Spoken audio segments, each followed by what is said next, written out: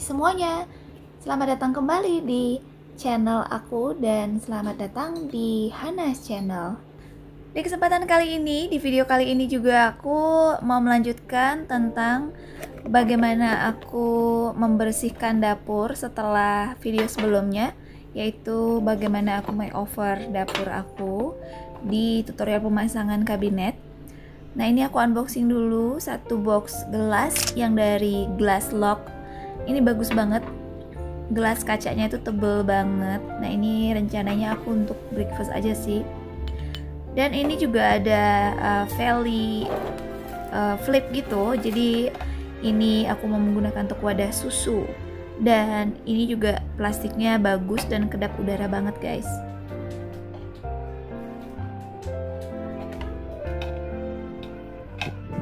Flip storage container ini BPA free guys dan food grade menggunakan plastik yang berbahan aman banget dan dia bener-bener kedap udara banget karena aku sudah mencoba guys untuk masukin makanan ke dalamnya karena sudah punya satu sebelumnya. Nah ini uh, buat uh, stok satunya lagi aja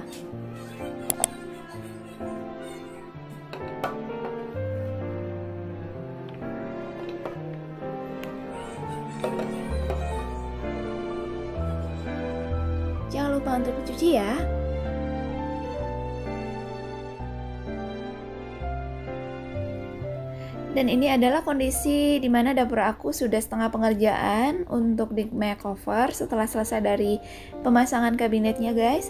Dan langsung saja aku lanjut untuk bersih-bersih di dapur. Keep on watching guys, jangan di skip videonya ya sampai habis.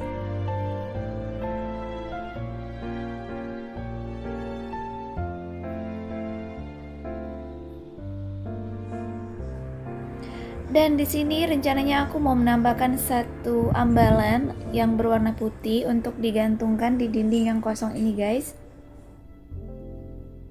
Dan suami aku sedang mempersiapkan bor, baut, dan lain-lainnya lah untuk kebutuhan bor ngebor ya.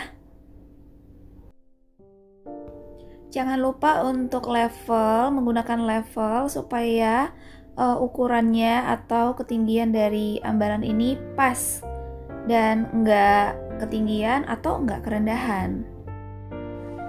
Kebetulan di sini sikunya aku memilih um, siku yang bentuk kayak gitu guys tuh. Apa sih namanya ulir-ulir gitu ya, lekuk-lekuk kayak gitu. Kalau menurut aku sih uh, lucu aja dibanding dengan beberapa siku atau ambalan yang ada di rumah aku yang sudah ada polos-polos aja gitu. Jangan lupa untuk di marking atau di beri tanda ya guys di dindingnya. Di garis aja supaya kita nggak meleset nanti untuk perhitungan dan ukurannya. Dan juga dipaku aja guys dindingnya. Nggak usah sungkan-sungkan untuk memaku dinding dan jangan takut dikasih tanda aja dibolongin dikit supaya gampang aja untuk proses ke pengeborannya. Dan beginilah suami aku sebagai tukang pemula ya. Bukan tukang profesional sih. Dan seperti biasa juga selalu uh, letakkan di bawah ketika kita mau ngebor itu guys. Uh, letakkan juga plastik atau wadah apa pun ya baik kertas atau plastik juga bisa lah ya untuk uh, ditaruh di bawahnya ditempelin aja di dindingnya menggunakan solasi. Itu sebenarnya cara yang simpel dan mudah sih supaya kita nggak dua kali kerja supaya pekerjaan kita lebih cepat dan nggak berantakan aja. Sisa akses debunya itu tertampung di plastiknya.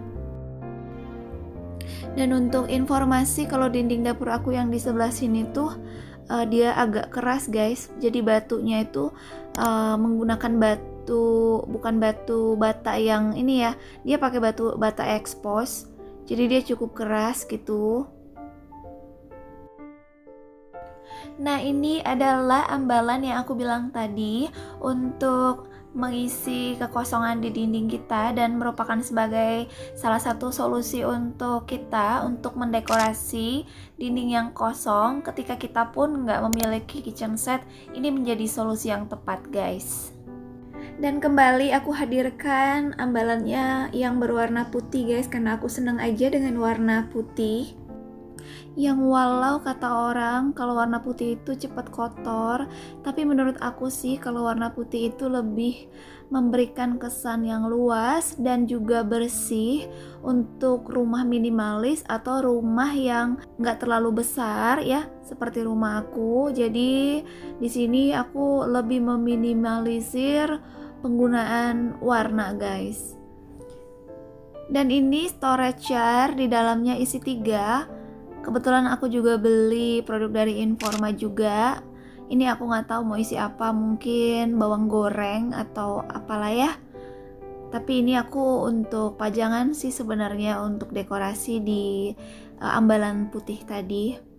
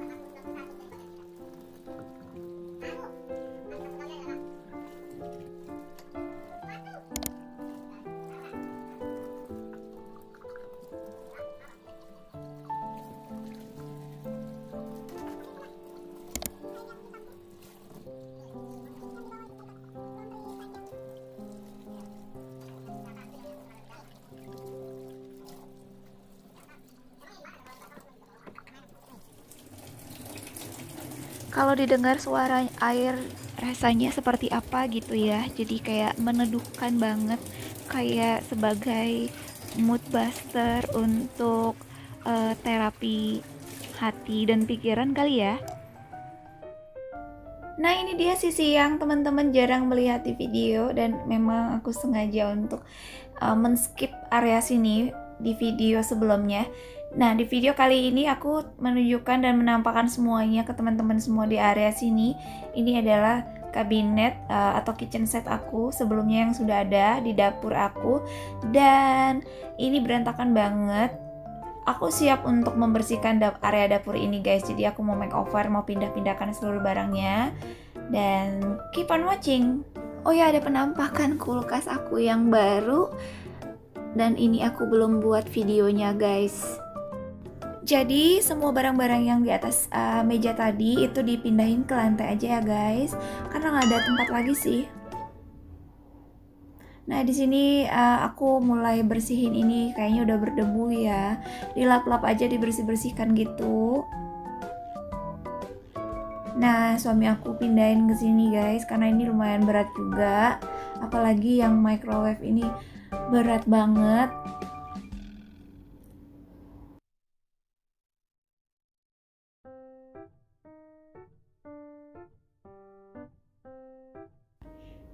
pemasangan lemari besi ini ada di satu video ya guys.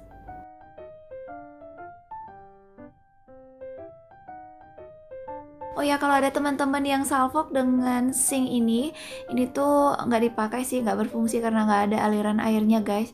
Cuma ya buat pajangan aja lah ya. Dan ini wall shelving yang terbuat dari kaca gitu guys. Suami aku lagi mencocokkan apakah ini dipasang di situ cocok apa enggak gitu. Dan ternyata nggak cocok kata suami aku sih. Nah seperti yang aku bilang tadi, ini dinding yang kosong. Aku mau dekorasi. Jadi mari kita mulai untuk dekorasinya. Pertama-tama aku uh, letakkan satu pot bunga sebagai hiasan atau buat uh, pemanis aja supaya ada hijau-hijaunya guys. Dan ini bunga artifisial yang aku beli di S Hardware. Nanti untuk harga seluruh produk aku cantumin di description box juga ya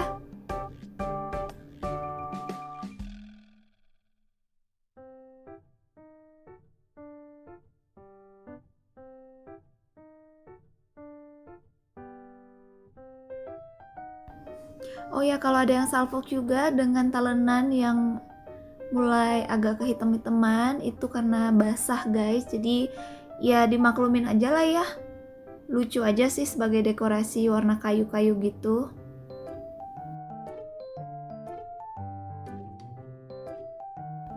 Nah storage jar yang terbuat dari bahan kaca ini aku letakkan di sini aja. Menurut aku cocok aja dengan wall shelving yang berwarna putih. Jadi area ini itu sebenarnya untuk uh, area potong memotong sih kalau aku mau iris-iris atau untuk food preparasi di sini area sini. Jadi dia lebih luas aja tempatnya untuk kita food preparation.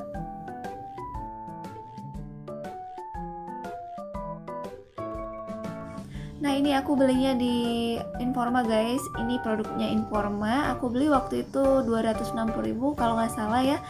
Tapi nanti aku pastikan lagi Dan aku cantumin di description box.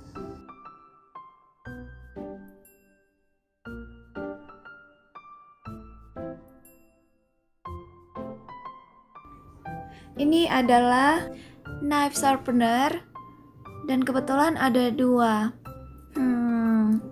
Kayaknya aku buat untuk giveaway aja ya satunya lagi ya. Dipantengin aja video aku, siapa tahu nanti ada teman-teman yang beruntung dari giveaway yang aku buat. Kita nggak tahu kapan ya. Ditunggu aja. By the way, bahan yang digunakan oleh keranjang ini itu bagus guys. Jadi dia tuh cukup kuat dan anti karat karena dia di coating dengan bahan pelapis anti karat gitu di besinya dan punya dua tingkat gitu. Jadi aku bisa menyimpan bawang bombay dan kentang-kentang gitu. Dan menurut aku sih ini harganya lumayan mahal ya. Tapi karena lihat uh, warna hitam coraknya lucu aja basket dari besi gitu sama kayak yang ini yang di atas wall hanging basket kayak gitu ya namanya nggak tahu. Nanti semua keterangan aku buat di description box. Dan maafkan kalau ada bawang bombay cuma dua biji begini karena aku belum sempat lagi untuk belanja. Jadi nanti akan ada video grocery haul aku untuk part selanjutnya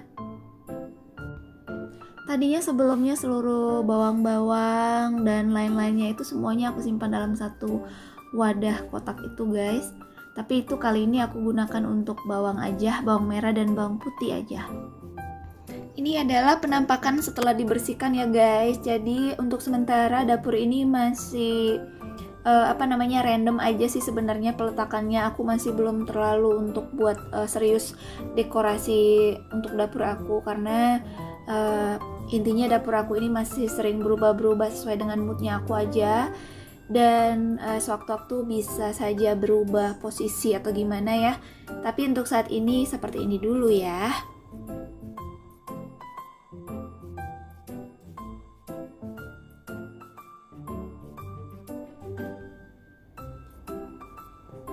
Keranjang tempat sendoknya bener-bener sudah full banget guys. Sudah kayak bunga yang lagi mekar gitu tapi aku suka aja sih seluruh yang aku butuhkan untuk kebutuhan memasak tuh ada di dalam satu keranjang tempat sendok ini.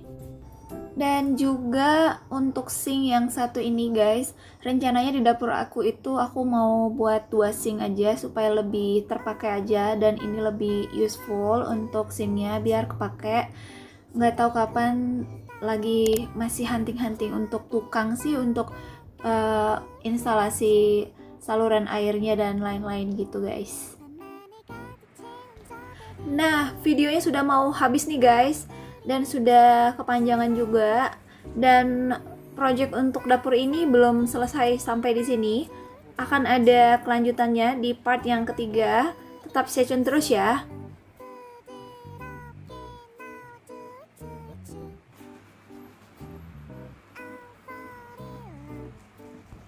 Nah, ini adalah kulkas yang lama guys dan sudah tidak terpakai lagi. Kira-kira aku multifungsikan sebagai apa ya? Dan ada yang penasaran nggak ya tentang kulkas ini? Dan aku gunakan sebagai wadah tempat penyimpanan apa? Barang bekas dan barang yang sudah tidak terpakai lagi tentunya masih bisa difungsikan guys sebagai tempat penyimpanan apa pun ya. Selama masih bisa difungsikan, ayo guys, kita berkreasi.